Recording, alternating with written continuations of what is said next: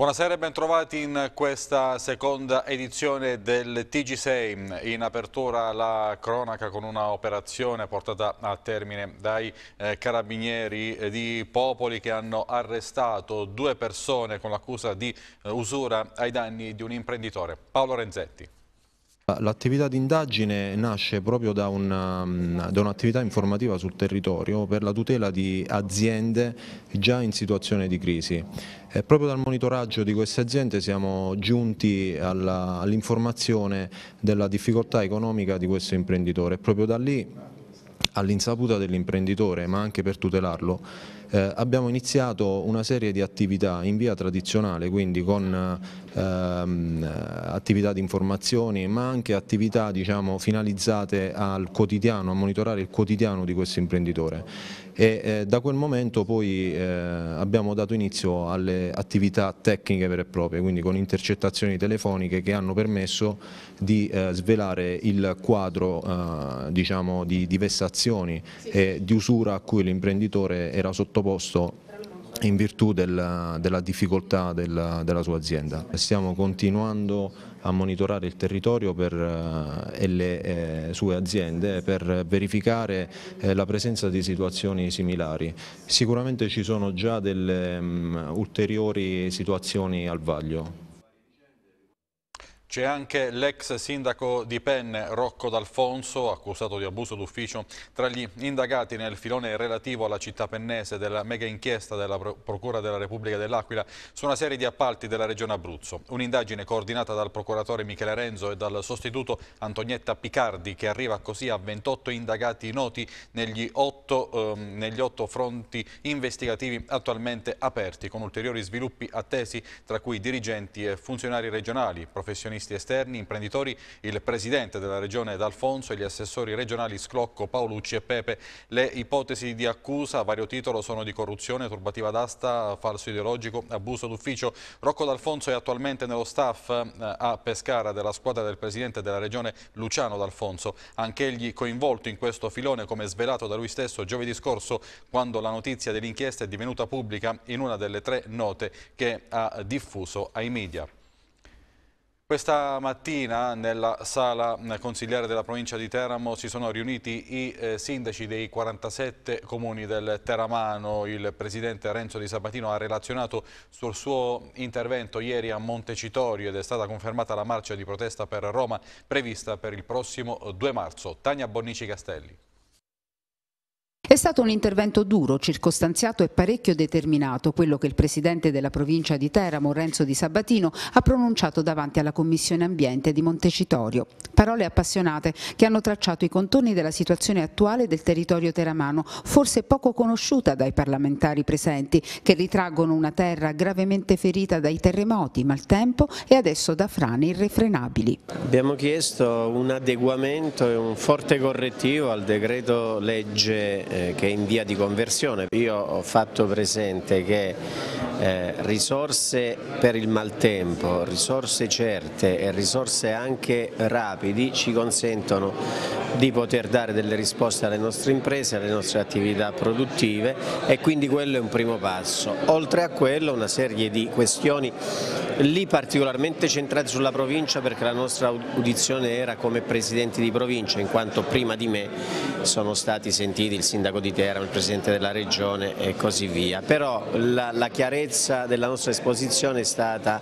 ci dovete dare delle risposte che sono adeguate alle situazioni di emergenza che stiamo vivendo. Intanto i sindaci dei comuni teramani si ritrovano ancora una volta insieme e confermano la loro partecipazione all'iniziativa di protesta del 2 marzo che li porterà a marciare su Roma per chiedere ma soprattutto per ottenere sostegni immediati alla popolazione. Quando arriveranno queste risposte secondo lei? Allora io eh, spero che da qui al 2 marzo intanto il decreto eh, abbia una sostanziosa e corposa modifica e tenga conto del fatto che maltempo e terremoto di gennaio ce lo siamo beccati tutti in provincia di Teramo e in regione Abruzzo eh, e quindi una risposta anche attraverso delle ordinanze del, della protezione civile, due che il terremoto appunto tenga conto in particolare di questo e tre che ci sia un riconoscimento particolare per la situazione particolare che abbiamo in favore dei privati, in favore dell'attività produttiva, in favore del commercio di questo territorio. Anche la Regione Abruzzo sta muovendo i suoi passi. Il governatore D'Alfonso ha chiesto al Premier Gentiloni la copertura finanziaria e legislativa per il cratere sismico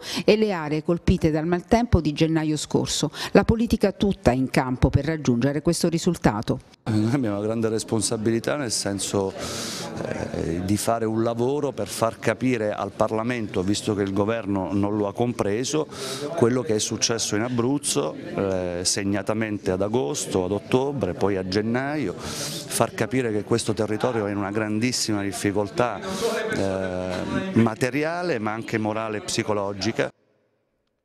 Per sabato mattina alle 10.30 ho convocato tutti i parlamentari della provincia di Pescara per chiedere una seria assunzione di impegni sia sulle ultime criticità che sulla più generale condizione di dissesto idrogeologico in cui versa il territorio.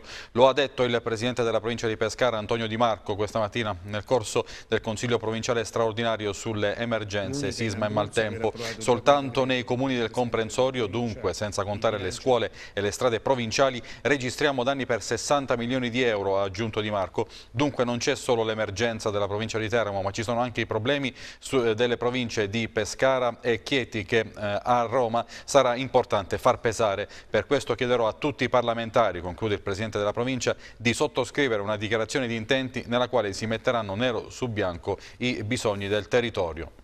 E intanto ci sono ancora dei problemi su questo fronte perché sei nuclei familiari sono stati fatti evacuare oggi pomeriggio a Caprara di Spoltore, eh, sempre in provincia di Pescara, in via della Libertà, zona interessata da un movimento franoso conseguente al maltempo del gennaio scorso. Lo ha annunciato il sindaco Luciano Di Lorito al termine di una riunione da lui eh, convocata per la gestione dell'emergenza. Sul posto questa mattina sono intervenuti i vigili del fuoco di Pescara assieme ai tecnici dell'ente per verificare quanto accaduto. L'area a rischio è stata interdetta al pubblico e transennata. Secondo la relazione redatta dai Vigili del Fuoco è necessario fare seguire una indagine idrogeologica al fine di stabilire l'effettiva estensione del dissesto in atto e di predisporre adeguate opere di monitoraggio, consolidamento e messa in sicurezza. Eh, l'area Vestina è stata investita dalla tragedia di Rigopiano e da altre problematiche appunto legate al eh, maltempo, ma come sottolinea il vicepresidente della regione eh, Lolli ha anche delle eccellenze intorno alle quali costruire un progetto di rilancio. L'area Vestina è contemporaneamente l'area sulla quale si è abbattuta non solo la tragedia di Rigopiano ma anche tutto il resto delle gran, gravissime vicissitudini che abbiamo avuto in quest'ultimo periodo e quindi è un'area che sta in una sofferenza terribile dal punto di vista del turismo ma anche da altri punti di vista e però contemporaneamente è un'area che ha delle potenzialità straordinarie, qui sono concentrate alcune delle eccellenze d'Abruzzo, qui c'è Labrioni, qui ci sta Valentini, qui ci sono eh, diciamo, gli olivicoltori più importanti d'Abruzzo, qui c'è Marcello Spadone della Bandiera, qui ci sta appunto, no? c'è la Cogestre, cioè siamo, qui c'è il pecorino di Farindola. Abbiamo quindi una concentrazione di potenzialità enormi e contemporaneamente problemi giganteschi. Ne vale la pena di provare qui a, naturalmente, a, a costruire un prodotto che sia un prodotto di grande qualità e lanciarlo sui mercati.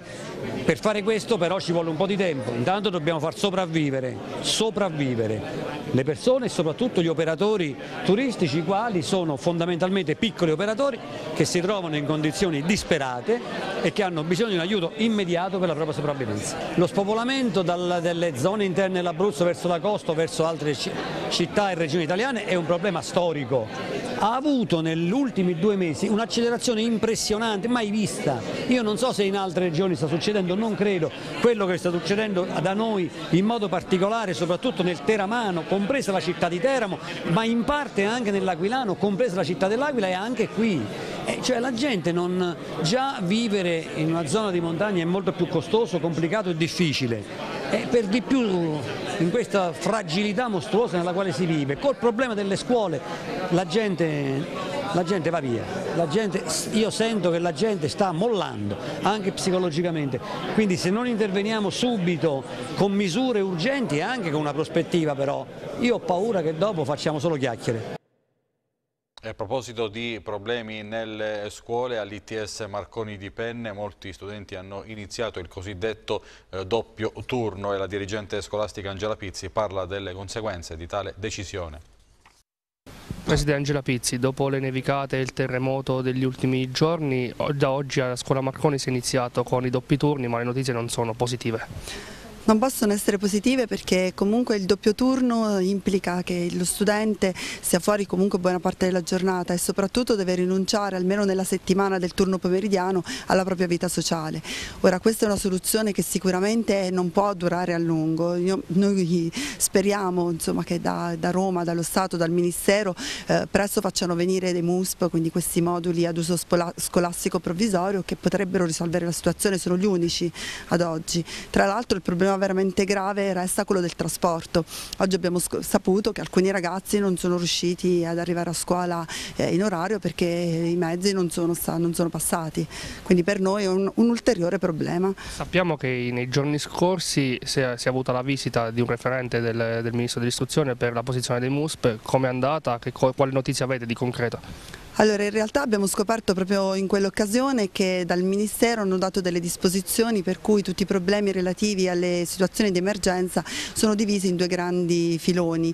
E purtroppo il filone che, mm, che ha accolto la nostra richiesta d'aiuto non era quello sperato, noi speravamo proprio che fosse quello per mm, l'installazione di, di, questi MUSP e invece mh, mm, eh, il funzionario che è venuto, che tra l'altro è stato gentilissimo e che ringrazio, si è occupato del benessere dello studente quindi del materiale che eventualmente abbiamo disperso eh, durante il crollo.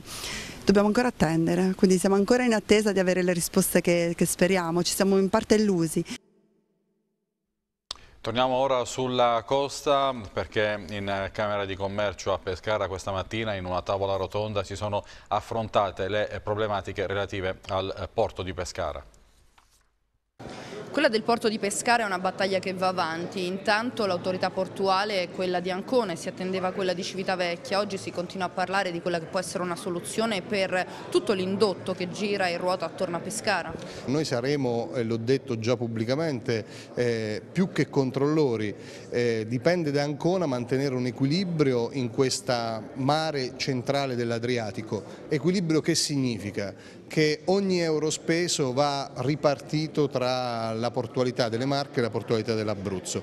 Quello che ci preoccupa e, e Ancona deve garantircelo, però devo dire che stanno lavorando in questo senso, è che se tu attrezzi un porto, per esempio Ancona, in modo competitivo, lo devi fare anche qui. Poi ce la giochiamo la competizione sul mercato e non rinunciamo alla nostra funzione trasversale, cioè di incrociare i traffici dall'est per portarli all'altra parte della sponda italiana, cioè sul Tirreno. È chiaro che a Pescara quando si parla di porto c'è un certo sconforto, è innegabile. C'è un'economia che negli anni si è completamente depotenziata, hanno chiuso diverse imprese, molta gente ha, preso, ha perso il suo posto di lavoro, da qui la necessità della Camera di Commercio che rappresenta un po' la Camera di Commercio e la Casa delle Imprese di rispingere ancora un'azione forte nei confronti delle istituzioni perché tutto ciò trovi la parola fine, ma tutto questo deve essere assolutamente di una rapidità assoluta perché, le ribadisco, ci, ci, stiamo invecchiando discutendo di un porto che di fatto ormai da 9-10 anni eh, non cambia le proprie condizioni di fruibilità. Al centro del tavolo l'autorità portuale di Ancona, questo sarà una responsabilità verso l'Abruzzo o una collaborazione? Qual è il, il, futuro? Siamo sei porti, saremo sei porti tutti insieme per fare una strategia molto forte e una banchina virtuale di 215 km che parte da Pesaro e arriva a Ortona.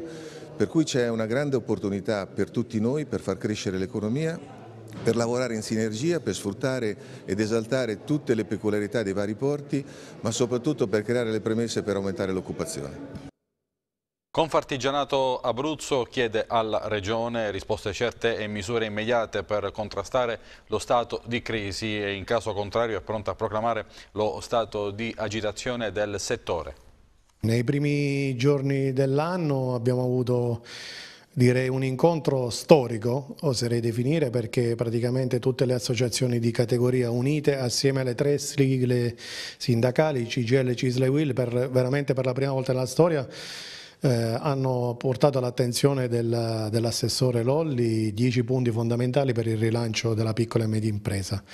E questi punti toccati sono chiaramente eh, la bottega a scuola, i CAT, artigianato artistico, e, mm, e, soprattutto un punto fondamentale è l'accesso al credito. Chiaramente la piccola e media impresa è quella che ha eh, difficoltà maggiore a dialogare con gli istituti di credito, ma soprattutto perché eh, negli ultimi anni c'è stata una flessione di circa l'8% appunto di accesso al credito da parte delle imprese.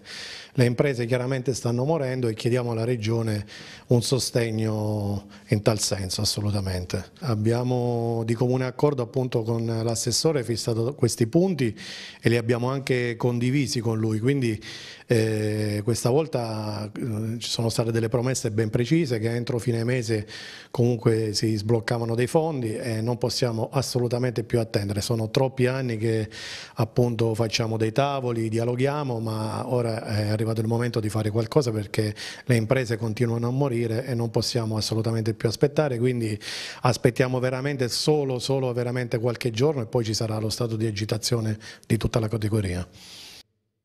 Cambiamo pagina all'Aquila, il partito di rifondazione comunista si eh, prepara per le prossime elezioni comunali e cerca alleati per formare una eh, coalizione di eh, sinistra ma allo stato attuale è impossibile allearsi con il PD di Renzi e D'Alfonso, dicono Germana Dorazio.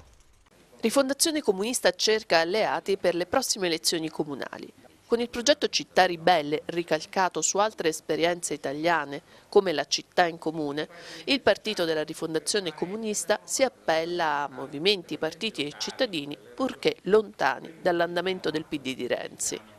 Anche all'Aquila abbiamo proposto, già fatto più di una riunione per costruire un'alleanza di questo tipo che sappia dare respiro a un'alternativa possibile all'austerity europea e eh, alle politiche di molte amministrazioni schiacciate dall'austerity europea rappresentate in Italia dal Partito Democratico. Noi auspichiamo oh, di poter collaborare e allearci con le forze a noi vicino, territorio collettivo, sinistra italiana, appello per l'Aquila, per ricalcare l'esperienza di tante città, Napoli su tutte, dove De Magistris governa con la cosiddetta coalizione della città ribelle. Non abbiamo pregiudizi nei confronti di altre forze centrosinistra, il PD, se il PD esce dal PD come è stato detto in conferenza stampa, noi saremmo ben lieti di continuare un percorso amministrativo, però è chiaro che se il PD è il PD di Renzi e di D'Alfonso per una forza di sinistra al di là di rifondazione per una forza di sinistra diventa impraticabile quella strada per i temi classici sui quali ci siamo battuti. Ambiente, infrastrutture, ricostruzione delle frazioni, questione universitaria questione morale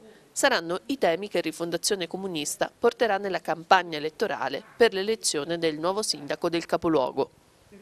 Per quanto riguarda la figura di Trifoggi, come vi relazionerete con lui? Su questa vicenda della questione morale Trifoggi è stato un punto di riferimento ed è stato intransigente come vice sindaco.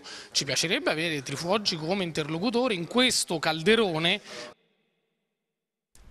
Scuola di democrazia, la storia di Marco Pannella e delle sue battaglie eh, politiche, eh, una biografia che sarà eh, presentata sabato 25 febbraio all'Auditorium Petruzzi di Pescara con la partecipazione di tanti amici, ehm, tra cui Germano D'Aurelio che si presenterà in veste di moderatore d'eccezione. Francesca Romanatesti. La presentazione di un libro che celebra la scuola di democrazia di Marco Pannella e Induccio Germano D'Aurelio è il promotore di questa giornata, di, questo, di questa presentazione, una storia che eh, abbraccia tutto l'Abruzzo. Eh, L'evento viene destinato a cosa?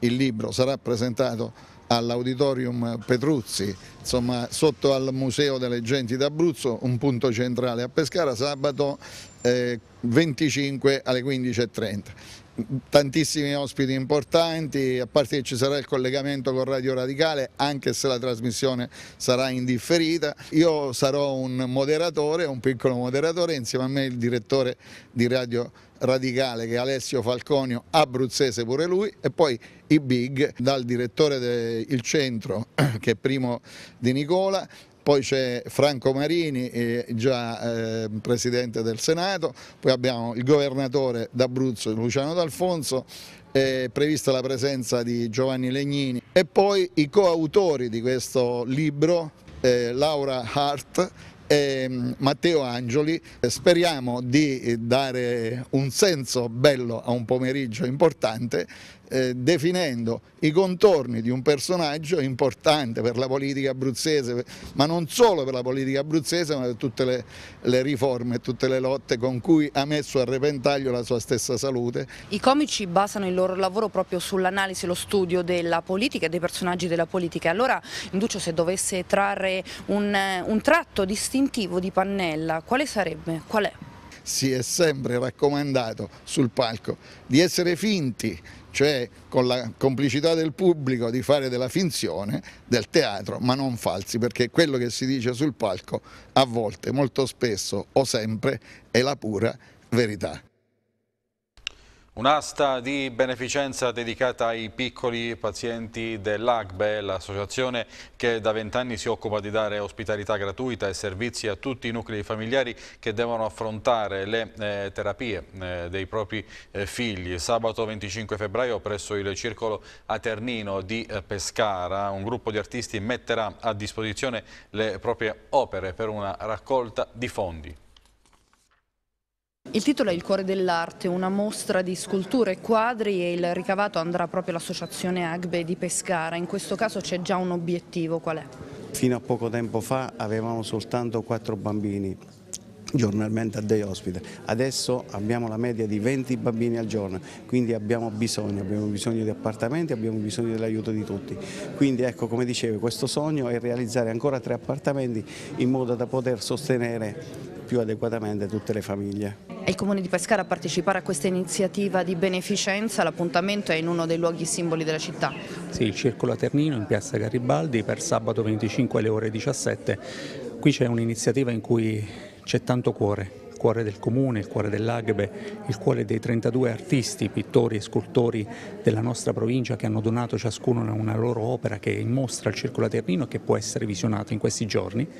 Adesso manca un cuore, il cuore speciale dei pescaresi, che devono venire, devono partecipare e devono fare delle offerte. Tutto il ricavato consentirà loro di portare a casa una bella opera, ma soprattutto di aiutare l'Agbe, perché tutto il ricavato andrà in beneficenza a questa associazione. Ospiti d'eccezione per un'asta di beneficenza, un grande amico dell'Agbe, chi ci sarà? Ci sarà, signore e signori, Ugo Petina Dragotti, eccolo eh, qua. Signore e signori, Marco Papa. Siamo, noi, siamo i, noi, i battitori liberi. Quindi che cosa facciamo in pratica? Alla fine ci dobbiamo voler bene per questo giorno. Eh, sì, dai, mettiamo il cuore oltre l'ostacolo, dai. Ecco, esatto. Va bene? 25 febbraio, venite tutti quanti. Non mancate ore 17, puntuali. Sarà un carnevale tutto dedicato ai bambini, quello che l'amministrazione comunale di Teramo ha organizzato per domenica 26 febbraio. Un'intera giornata da trascorrere in piazza tra giochi, musica, attrazioni e sorprese. Tristezza bandita a Teramo almeno per un giorno. Domenica 26 febbraio si farà festa in piazza per tutta la giornata, un carnevale dedicato soprattutto ai bambini che potranno sbizzarrirsi tra giochi, animazioni e maschere. Le zone interessate saranno Piazza Martiri e Corso San Giorgio. Sarà un parco gonfiabile già pronto dalla mattina, poi diciamo che la festa è vera e propria inizia il pomeriggio dalle, 3, dalle, dalle 15 in poi eh, avremo insomma trucca bimbi, avremo diverse attrazioni per i bambini, avremo un gruppo musicale che fa eh, musica dei cartoni animati, questo fino alle 6, poi per non, eh, come dire, interferire con la messa. Nella messa si, tra si trasferirà, eh, ci sarà un momento con un DJ che si, si, svolgerà lungo Corso San Giorgio. Ci saranno tante sorprese per i bambini che parteciperanno al Carnevale di Teramo. Tra queste la possibilità di cavalcare un pony e quella di scoprire un carro pieno di magie. La vostra organizzazione che cosa offrirà ai bambini di Teramo? Allora, noi siamo un centro ippico e offriremo la, la possibilità di fare un, dei giri coi pony.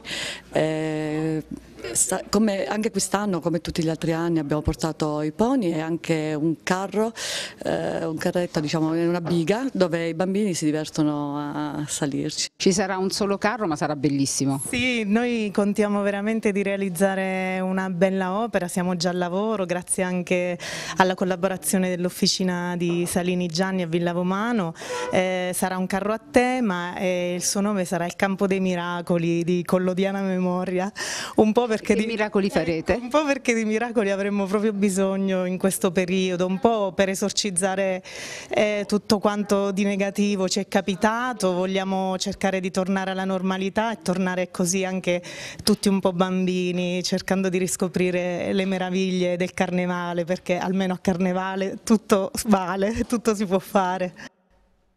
Apriamo la pagina dello sport e parliamo di Serie A e di Pescara che continua a preparare la trasferta di domenica al Bentegò di Riverona contro il Chievo. Oggi singola eh, seduta al pomeriggio, ancora tanti tifosi presenti al Poggio per vedere eh, la seduta diretta dal tecnico Zeman. Lavoro ancora differenziato per Girardino, Baibec e eh, Campagnaro. Intanto per la gara di domenica è stato designato quest'oggi il direttore di gara Gavillucci della sezione eh, di eh, Latina. Ascoltiamo ehm, cosa eh, dice il difensore Guglielmo Stendardo proprio sull'avvento in panchina del tecnico Boemo.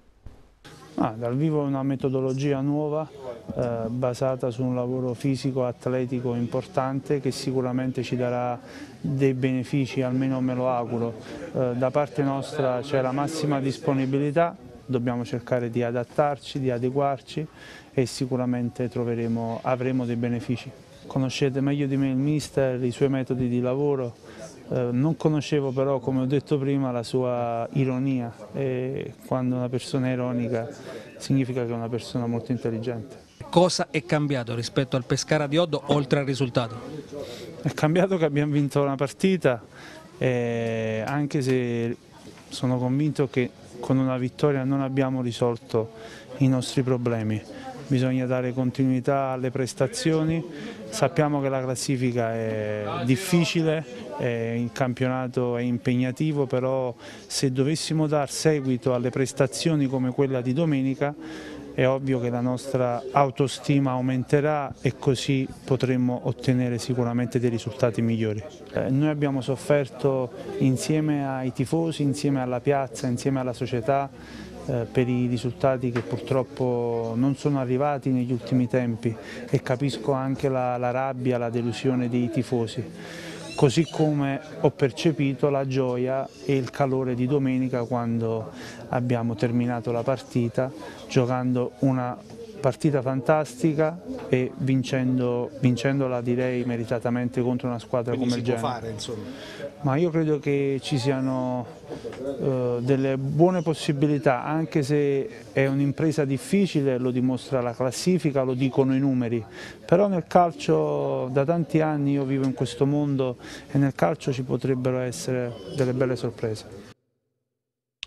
Per quanto riguarda la Lega Pro, eh, il Teramo ieri ha vinto il recupero con il Pordenone per 2 a 0 il giudice sportivo ha inflitto una giornata di squalifica al difensore imparato che eh, ieri è stato espulso al pari eh, del difensore del Pordenone eh, Ingegneri e poi eh, sempre il giudice sportivo ha combinato un'ammenda di 3.000 euro al eh, Teramo e con questa eh, ammenda il Teramo sale al quinto posto nella classifica non edificante di squadre più multate dell'intera Lega Pro con 12.000 euro complessivi. Per la partita invece invece di eh, domenica mm, contro il eh, Padova a Leuganeo è stato designato il direttore di gara Daniele Viotti di Tivoli, assistenti dell'Università di Aprilia e Rabotti di eh, Roma 2, il servizio. Una vittoria corroborante, non c'è che dire. Il Teramo che esce dal recupero col Pordenone con vista già sul Padova sembra aver quantomeno trovato quell'equilibrio che probabilmente è l'ingrediente che finora è mancato. Anche aver tenuto per la seconda volta consecutiva la porta inviolata è il primo mattoncino pesante che Ugolotti ha piazzato al centro del progetto di rilancio. Si vincono i campionati e si ci salva senza subire reti in questo momento basta vincere 1-0, basta vincere, non bisogna vincere 4-0, bisogna fare punti. Perciò la prima cosa da sistemare sicuramente è dare solidità, lavorare sul reparto difensivo perché eh, quando siamo arrivati, adesso le statistiche le guarderemo, però eravamo la terza peggior difesa. Dare, non prendere gol significa lavorare anche con i ragazzi con uno spirito diverso, ti ascoltano, seguono, non è che non l'hanno fatto prima, però è normale che c'è uno spirito diverso. Lo spirito sì, ma anche la possibilità di attingere a piene mani da una rosa ampia a cui va comunque chiesto sempre quel sacrificio intravisto coi neroverdi. In alcuni reparti abbiamo un'abbondanza e abbiamo qualità perché se andiamo a vedere le presenze di questi ragazzi in determinati ruoli sono ragazzi che hanno sempre fatto 20-25 partite, non qua ma probabilmente in altre squadre. E abbiamo qualche problemino numerico in mezzo al campo dove abbiamo tanti ragazzi giovani che si devono far trovare pronti perché a, man mano che li conosceremo probabilmente ci sarà spazio, abbiamo eh, possibilità di giocare con le due punte, di conseguenza abbiamo gli esterni che non siamo in numero eccezionale, di conseguenza uno si rende conto anche per la programmazione di un allenamento lo schema giusto per poter affrontare una squadra. Insomma, Ugo Lotti sembra aver almeno virato l'umore in casa biancorossa, clima tendente alla schiarita, dopo le nubi che hanno attanagliato il diavolo. Ma nel Tour de Force che attenderà il Teramo c'è uno scontro tutto biancorosso domenica pomeriggio all'Euganeo, gara difficilissima ma che da mercoledì si può guardare già con un altro piglio. Io mi auguro di sì, noi torno a ripetere che adesso abbiamo un tour de force perché se dovessimo guardare le squadre che affrontiamo, vista la classifica, ci dovremmo impressionare. Siccome io non mi impressiono, noi non ci impressioniamo, lavoriamo sul campo, andiamo a preparare, adesso ci godiamo momentaneamente questa vittoria che, che, ci aiuta a lavorare, aiuta i ragazzi perché se lo meritavano, perché torno a ripetere, è dal 4 mi sembra di dicembre che non sorridono eh, aver fatto anche Natale senza sorridere non è bello, aver cambiato tre allenatori non è bello perché sono dei professionisti, di conseguenza si nota questo nei ragazzi. Io mi auguro che già da domani vengano con lo spirito che hanno sempre avuto, ma col sorriso, perché torno a ripetere, in fin dei conti è sempre uno sport, è sempre una partita di calcio. Finisce qui la eh, seconda edizione del TG6, la prossima alle ore 23. Eh, Grazie per l'attenzione e buona serata.